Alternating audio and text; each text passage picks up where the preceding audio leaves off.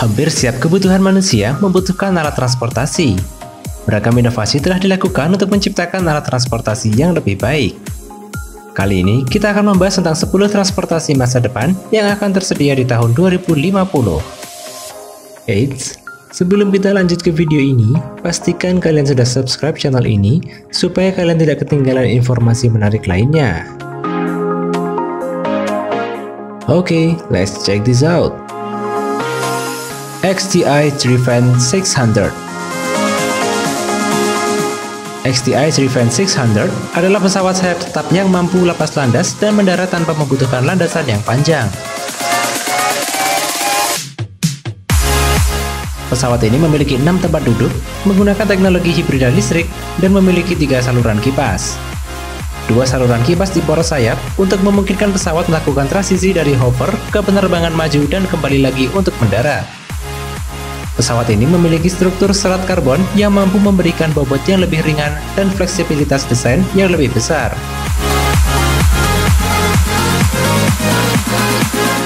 Kabin pesawat ini memiliki desain yang sangat futuristis, sesuai dengan misi kendaraan masa depan ini. Desain Cleantech ini menghasilkan manfaat seperti emisi, biaya pengoperasian, dan kebisingan yang lebih rendah dibandingkan dengan pesawat atau helikopter serupa.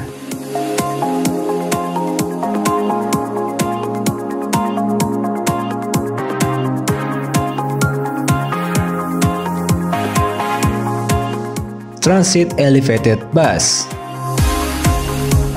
Transit Elevated Bus adalah konsep angkutan publik di mana penumpang bus akan naik di atas, sementara lalu lintas melaju nyaman di bawahnya. Konsep bus ini tampak seperti kereta bawah tanah atau kereta api dengan rel jalan raya.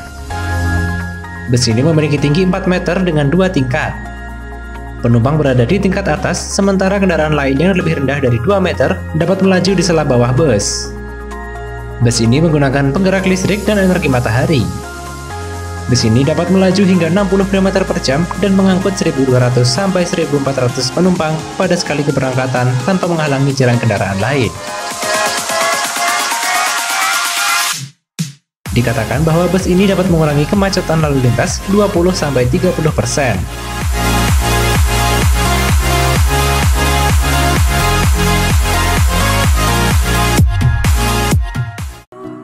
Giant Quadcopter Transport Konsep drone raksasa ini mampu membawa penumpang dalam jumlah yang sangat banyak di ketinggian.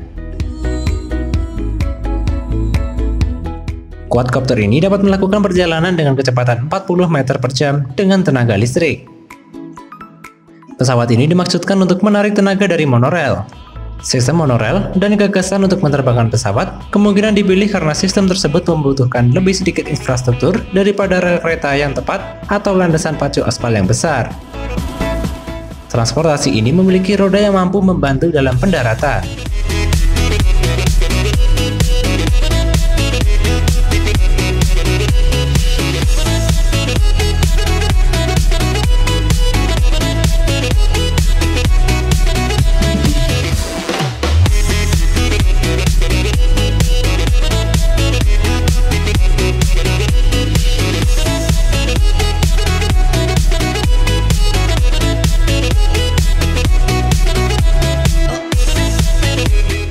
Either Cruise Experience. Either adalah pesawat pesiar mewah yang dikembangkan oleh Aeroscraft.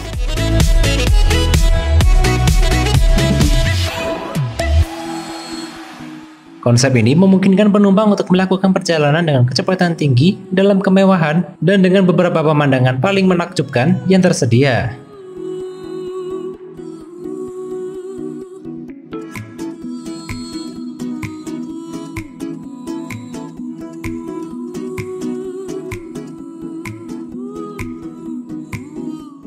Pesawat pesiar mewah ini menggunakan mesinnya sebagai sumber utama pengangkatan dan helium untuk mengimbangi bobot kargo.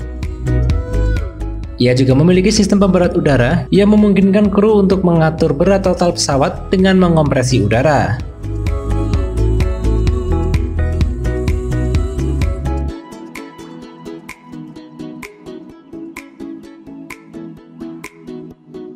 Navia Arma Navia Arma adalah kendaraan transportasi listrik yang sepenuhnya otonom. Kendaraan antarjemput tanpa pengemudi yang inovatif dan cerdas ini dapat mengangkut hingga 15 penumpang dan berkendara dengan aman hingga 45 km per jam.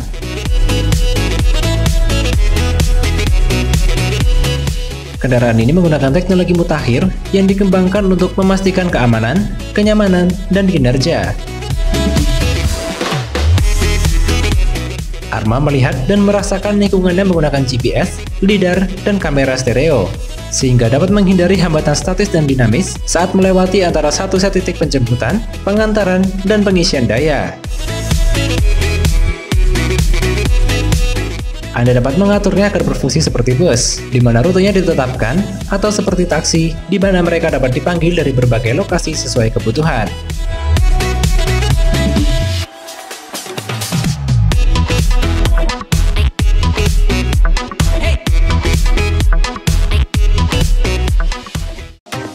Next Future Transportation Next Future Transportation adalah sistem transportasi cerdas yang didasarkan pada kawanan kendaraan modular self-driving. Sistem modul dapat bergabung dan dilepaskan dengan modul lain. Saat bergabung, mereka membuat area terbuka seperti bus di antara modul, memungkinkan penumpang untuk berdiri dan berjalan dari satu modul ke modul lainnya. Modul tersebut dapat mengemudi secara mandiri di jalan raya, menggabungkan dan terlepas dari satu sama lain saat bergerak, dan memungkinkan penumpang untuk berjalan di antara setiap kabin. Selain itu, Next bermaksud untuk mengubah pengalaman perjalanan dengan menyediakan layanan sesuai permintaan yang bergerak seperti makanan dan minuman yang dikirim sesuka hati.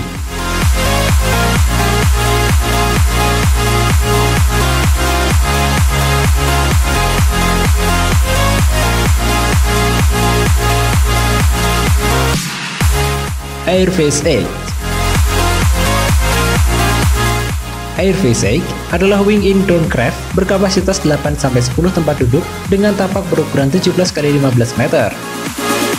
Ini dirancang untuk dioperasikan oleh dua awak dan kapasitas angkut untuk 6-8 penumpang dalam konfigurasi transport sipil standar. Kendaraan ini didukung oleh mesin mobil V8 yang bertenaga namun kompak.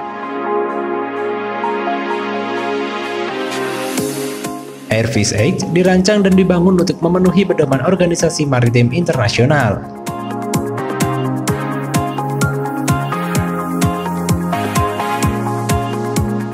Kendaraan ini mampu melaju 4 kali lebih cepat dibanding kapal feri dengan kecepatan 196 km per jam.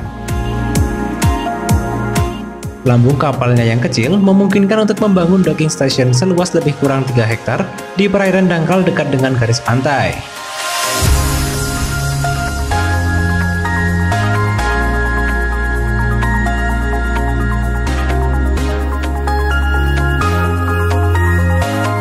Terrafugia TFX adalah mobil terbang otonom yang dikembangkan oleh Terrafugia yang berbasis di Boston. Mobil ini memiliki ukuran yang kompak sehingga akan muat dalam satu garasi mobil. TFX dapat menampung empat orang dan menggunakan mesin yang dikombinasikan dengan dua motor listrik untuk penggerak. TFX mampu lepas landas dan mendarat secara vertikal dengan melebarkan sayap yang dapat ditarik yang dipasang dengan baling-baling pendorong.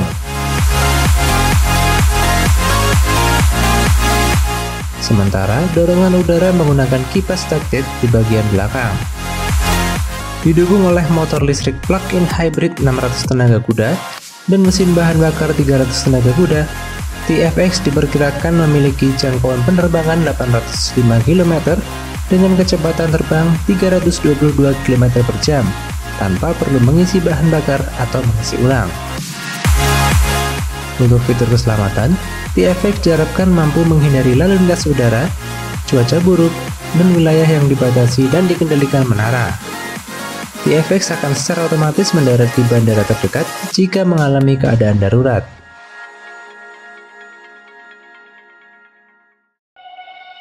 Bell Nexus 4EX Bell telah mengungkapkan revolusi desain untuk taksi udaranya, yaitu Nexus 4EX. Kendaraan ini memiliki konfigurasi tenaga listrik saja dan hybrid listrik dengan 4 kipas lactate sebagai penggerak utamanya. Bell Nexus 4EX dapat beroperasi sebagai kendaraan khusus listrik atau kendaraan berkonfigurasi hybrid listrik.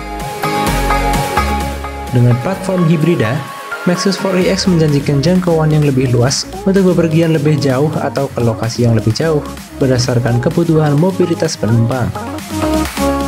Nexus 4EX memiliki bobot 3175 kg dan dapat membawa 4 hingga 5 penumpang hingga 95 km dengan kecepatan jelajah sekitar 240 km per jam. Kendaraan ini didesain untuk mengatasi tantangan pengiriman dan komuter, membawa barang, orang, dan data untuk melayani bisnis atau permintaan di seluruh kota.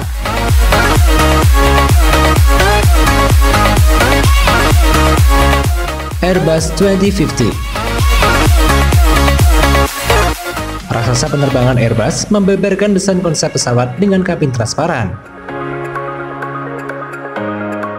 Hal ini memungkinkan para penumpang pesawat bisa melihat langsung pemandangan di luar pesawat selama penerbangan. Dalam pesawat masa depan tersebut, tak akan ada lagi pembagian kelas bisnis dan ekonomi di dalam pesawat.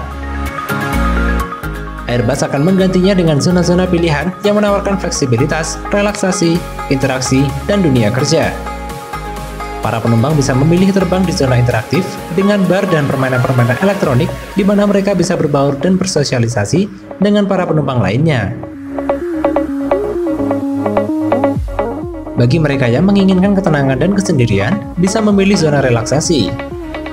Kursi-kursi penumpang juga bisa diubah ukuran dan bentuknya untuk setiap penumpang. Selama penerbangan, dinding-dinding pesawat akan berubah-ubah sesuai kondisi lampu. Pesawat masa depan ini rencananya akan diluncurkan pada sekitar tahun 2050 mendatang.